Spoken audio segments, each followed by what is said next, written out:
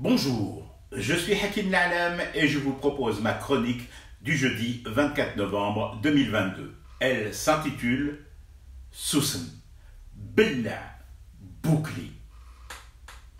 Pour ma part, je retiendrai cette réponse faite par un accusé à la question du juge au procès des assassins présumés de Jamel Ben Smail. Le magistrat lui demandait vous êtes filmé dans le fourgon de la police en train de malmener la victime et de la menacer. Que faisiez-vous dans ce véhicule de police? Question de magistrat, courte, sujet, vers complément et 0% matière grasse. Et l'homme répond J'étais assis, bac. Ah, assis dans un fourgon de la police.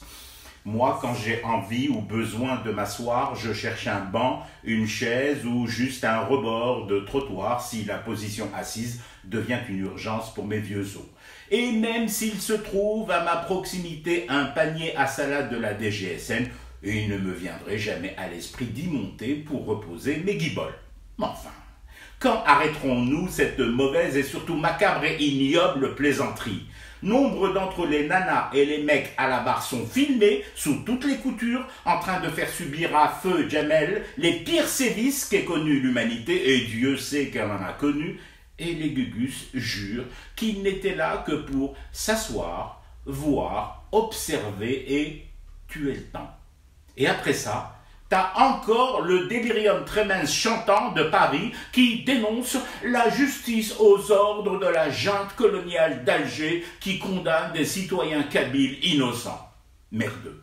Désolé pour cet écart de langage, mais franchement et irrémédiablement merdeux.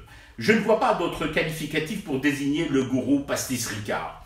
Yani, même quand les preuves sont là, documentées, sans aucune protestation possible, données à voir au public, livrées à l'opinion, il trouvera toujours refrain à chanter, le même, comme un vieux tourne-disque dont l'aiguille s'est plantée, coincé en ronron sur le vinyle rayé. Pouvoir assassin, pouvoir assassin.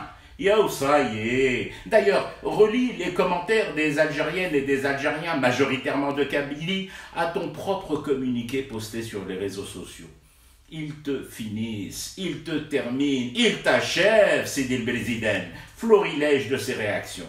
Soussem, bla, aucun respect pour la victime, même en ces circonstances et d'autres de la même tonalité scandalisée devant autant d'outrances, de profanations répétées de la tombe de Jamal Ben Smaïl à partir d'un bar PMU de Paris.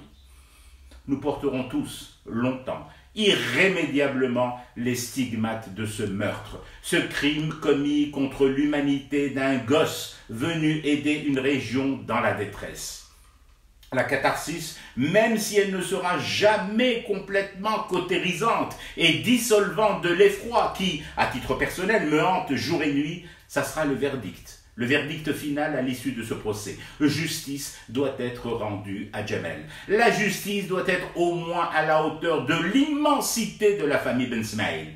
Des femmes et des hommes d'Algérie ont tué un garçon d'Algérie, l'ont brûlé vif. D'autres Algériennes et Algériens ne sont pas intervenus pour les en empêcher. Pire, certains ont chanté et dansé comme dans un rituel satanique et barbare. Et au bout, c'est nous tous qui portons il el ebed, cet infâme tatouage sur notre peau, sur nos mémoires. Je fume du thé et je reste éveillé, le cauchemar continue. C'était Hakim Nalam, je vous retrouve samedi pour une autre chronique et une autre façon de dire son amour à l'Algérie.